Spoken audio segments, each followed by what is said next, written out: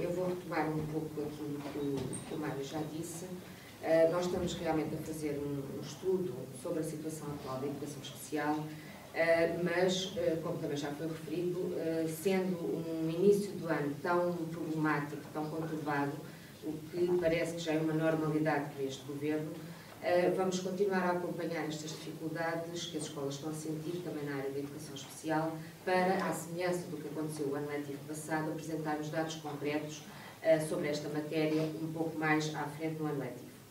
De qualquer forma, temos já dados que evidenciam o contínuo desrespeito pelos alunos com necessidades educativas especiais, as suas famílias e pelos docentes de educação especial.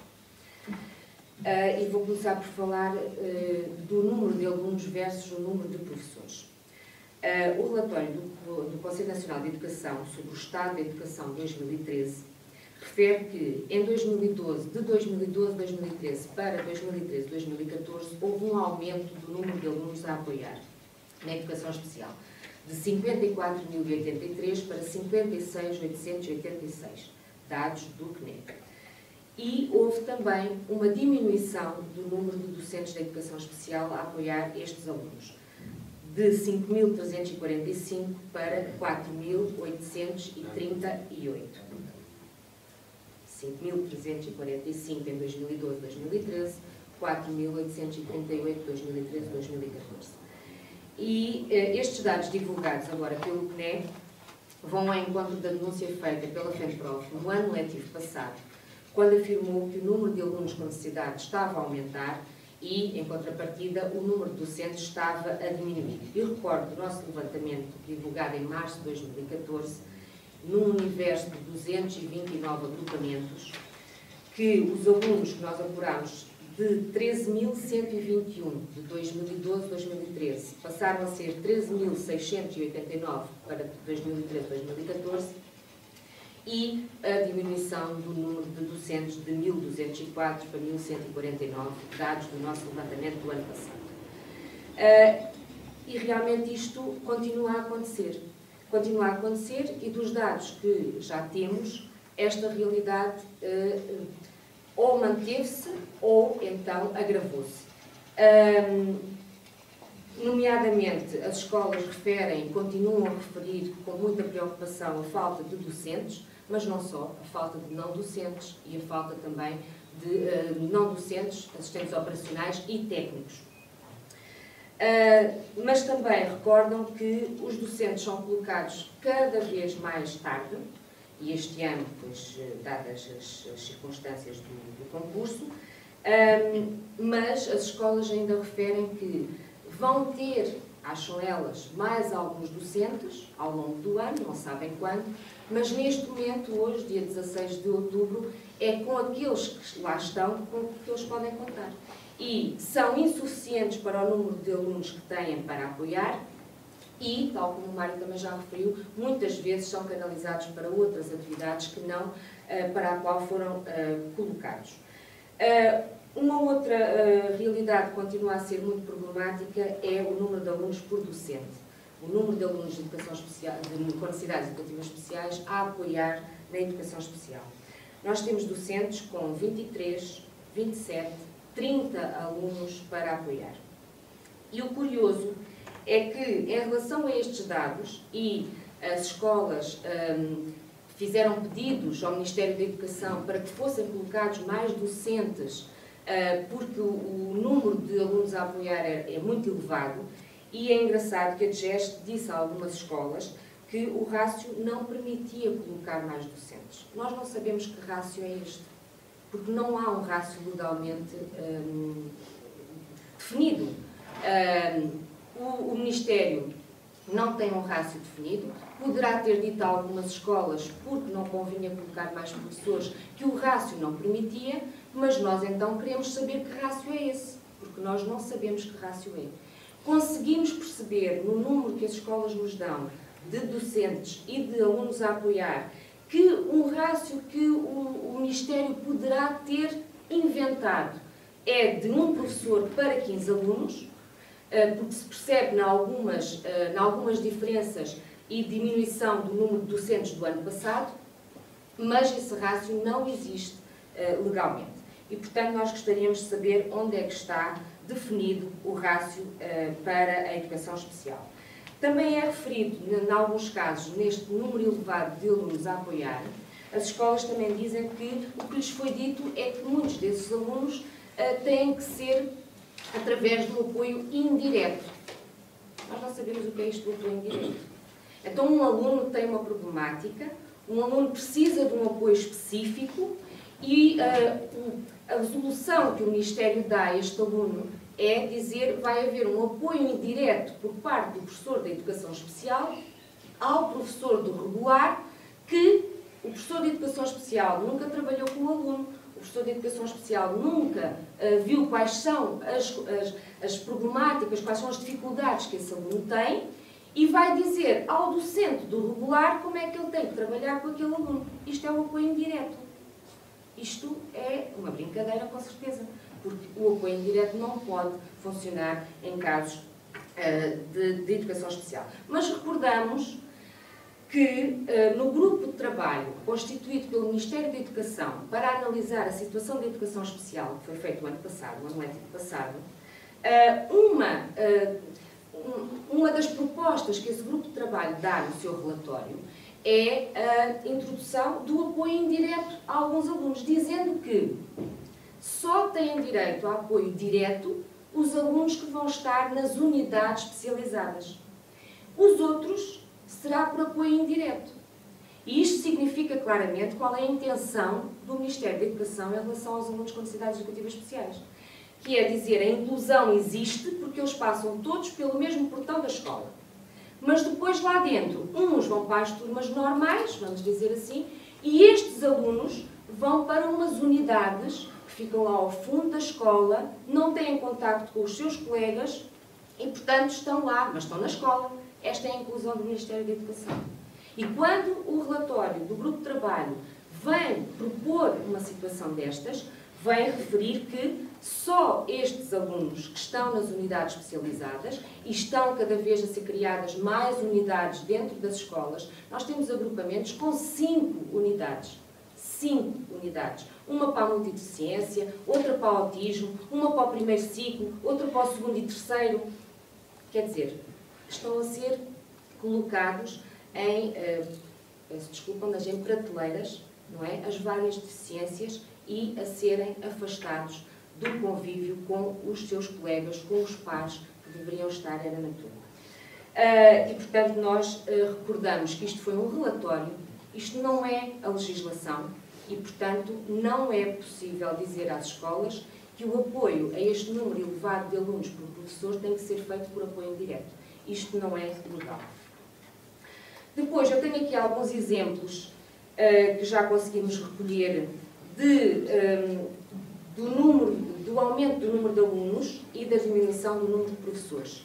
Uh, tenho por escolas, uh, se depois no final quiserem mais alguma informação, uh, eu poderei dar. Vou só dar um exemplo muito concreto, porque há escolas aqui que aumentaram, um, por exemplo, de 72 alunos no ano passado para 84 previstos para este ano, eu digo previstos porque nós não nos podemos esquecer que há muitos alunos ainda a serem referenciados, o que significa que até ao final do ano eles poderão também entrar no regime de educação especial, mas as, as, as que nós dissemos, uh, o que nos chegou em termos de informação, por exemplo, num agrupamento de escolas de Amares, Braga, 72 alunos no ano passado, 84 este ano. O ano passado tinham 8 docentes de educação especial, este ano tem 5. Por exemplo, Uh, Ponte de Lima, uh, o ano passado 57, este ano mantém o mesmo número de alunos, 57, uh, ah, mas o ano passado tinham 9 docentes, este ano tem 6. e mais exemplos. Também conseguimos, em alguns casos, porque já fazemos este levantamento também desde 2012, 2013, conseguimos também ver algumas escolas, e vou dar um exemplo, em que com mais ou menos o mesmo número de alunos, nestes três anos letivos, 2012, 2013, 2013, 2014 e 2014, 2015, a diminuição é clara em termos do número de professores. Isto é no agrupamento de escolas Engenheiro Eduardo Pacheco, é o OLE, 2012-2013, 81 alunos. 2013-2014, 83 alunos. 2014-2015, 82 alunos previstos, como eu disse. Como eu referi há pouco. Docentes, 2012-2013, 9. 2013-2014, 8. 2014-2015, 7. Portanto, vê-se qual é a, a, a, intenção clara do Ministério da Educação em termos do apoio a dar a estes alunos. Mas também constatámos outra coisa, em relação às ilegalidades, que também já, já o Mário referiu, mas que eh, eu gostava também de dar aqui algumas, algumas notas.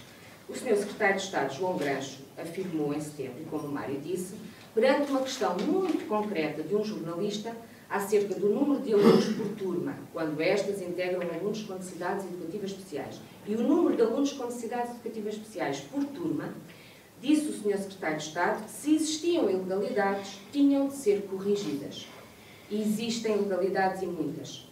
No estudo que estamos a fazer, constatamos que cerca de um terço dos alunos com necessidades educativas especiais estão em turmas ilegalmente constituídas. Turmas com mais de 20 alunos que integram alunos com necessidades educativas especiais, temos turmas com 25, 26, etc. Turmas com mais de dois alunos com necessidades educativas especiais e mais de 20 alunos por turma, e turmas com mais de dois alunos com necessidades educativas especiais. Por vezes as escolas dizem-nos assim, ah, a turma está reduzida, tem 18. Está bem, tem quantos alunos de, educação, de, com necessidades educativas especiais é que tem na turma? Opa, pronto, 4 ou 5. Isto não pode acontecer. A legislação existe. A legislação. Não, não a legislação diz que as turmas têm que ser constituídas no máximo com 20 alunos quando integram eh, alunos com necessidades educativas especiais e no máximo dois alunos por turma, dois alunos com necessidades educativas especiais por turma. Portanto, quando ultrapassam os 20 e está lá um, um aluno com necessidades educativas especiais, está ilegal. Quando ultrapassam os dois alunos por turma, mesmo que essa turma tenha 18, também está igual. Um, e há ainda uma situação mais complicada, porque com o alargamento da escolaridade obrigatória para o uh, secundário, uh, o Ministério da Educação retirou a medida de turma reduzida aos alunos do secundário, o que significa que um aluno com necessidades educativas especiais pode estar numa turma no ensino secundário com 30 colegas. E isto é um universo muito grande, quer para o docente do regular, que tem que trabalhar com todos esses alunos, quer para o apoio depois a dar especificamente também àquele aluno. Um, dizer que estas ilegalidades acontecem, apesar de nos planos educativos individuais dos alunos estar a turma reduzida como uma medida a adotar, estas turmas reduzidas têm que ter no plano do aluno essa medida, que é benéfica para o aluno conseguir atingir uh, uh, os seus objetivos e uh, ultrapassar as suas dificuldades. Houve orientações às escolas por algumas direções de serviço, antigas direções regionais de educação, a dizer que se estes alunos com necessidades educativas especiais já tinham professor de apoio, e vimos o número de alunos por professor ali atrás, não precisavam de ter a medida de turma reduzida. Portanto, a nossa legislação permite que os alunos com necessidades educativas especiais tenham turma reduzida e tenham professor de apoio para superar as suas dificuldades. E o Ministério, eh, aqui na, pronto, através das direções de serviços, vem dizer às escolas, claro, eh, de boca, que se já têm professor de apoio não precisam da medida de turma reduzida. E isto chegou ao ponto de algumas escolas um, ehm, com grande, não sei, necessidade, não sei, de uh, pôr em prática essas orientações, que houve conselhos pedagógicos que exigiram aos docentes da educação especial que reformulassem os planos educativos individuais dos alunos e retirassem a medida de turma reduzida. Portanto, nós não andamos aqui a brincar, a educação especial não é uma brincadeira e, portanto, há que ter respeito pelos alunos, pelas famílias destes alunos e pelos professores. e há aqui coisas que são uh, um bocadinho uh, impensáveis neste momento. Nós exigimos que o Sr. Secretário de Estado honre o que disse e corrija estas ilegalidades. Sabemos que as turmas estão constituídas, é verdade, mas também sabemos que o alerta foi dado muito antes delas serem constituídas, porque não é hoje a primeira vez que a FENPROV está a denunciar estas questões. Uh, e também sabemos que há muitos colegas de educação especial ainda por uh, colocar. Portanto, o que exigimos é apenas a reposição da legalidade, porque o Ministério da Educação e Ciência, o Sr. Ministro e os Srs. Secretários de Estado não estão acima da lei. Uma outra situação que também gostava, gostávamos também de, de levantar aqui e que também uh, reforça a nossa posição as, as conclusões do relatório do CNE, eh, é em relação à intervenção precoce. Eh, só na intervenção precoce, e segundo os dados do relatório do CNE, estão, em 2013 estiveram 14.273 crianças abrangidas pelo apoio da intervenção precoce. E isto significa, segundo também os dados do CNE, um, em cerca de 144 equipas locais de intervenção, que são as equipas constituídas pelo Ministério da Educação, da Saúde e da Solidariedade Social, uh, e que trabalham para apoiar estas crianças. Com um universo tão grande de, de crianças, 14.273, nós estimamos uh, que um, os docentes uh, abrangidos, envolvidos na intervenção precoce, sejam à volta entre 1.500 a 2 mil docentes. E achamos nós que será um número por baixo. Uh, ainda estamos a fazer o estudo e, portanto, vamos depois divulgar esses dados. Mas isto para chamar a atenção que isto é um, é um número muito elevado de crianças e das suas famílias, é um número muito elevado de docentes para a intervenção precoce estar completamente fora do concurso nacional de colocação de docentes. A intervenção precoce está legalmente uh, no grupo de recrutamento 910. Mas os docentes do grupo de recrutamento 910 não podem ser colocados na intervenção precoce. Porque apesar da intervenção precoce ser considerada da educação especial, os docentes aí colocados não podem ser de nenhum grupo de recrutamento da educação especial. Os docentes colocados atualmente na intervenção precoce são convidados pessoalmente a ocuparem esses lugares. E mais uma vez eu digo, a educação especial e, neste caso concreto, a intervenção precoce, não são uma brincadeira para nós entrarmos na casa destas crianças, na casa das famílias que acabaram de ter um filho com deficiência, para nós andarmos aqui a telefonar a docentes se querem ou não ir trabalhar para a intervenção precoce. O que nós exigimos é respeito por estas crianças dos 0 aos 6 anos de idade, que necessitam de um apoio especializado no âmbito da educação especial e também respeito pelas suas famílias. A intervenção precoce tem que assumir, o Ministério da Educação tem que assumir que a intervenção precoce é uma responsabilidade uh, sua, é, tem que ser uma resposta adequada com profissionais especializados num concurso ao mesmo nível dos outros docentes, ou seja, no âmbito do concurso nacional. E só assim é que poderá ter sentido em termos uh, do que se exige uh, neste, uh, neste âmbito também da intervenção precoce. Como dissemos também, nós iremos divulgar posteriormente, vamos continuar a fazer o estudo, teremos dados concretos, temos alguns já de escolas que depois, se quiserem, eu poderei divulgar, mas o estudo será depois divulgado na íntegra em relação a esta matéria. Disse? Já?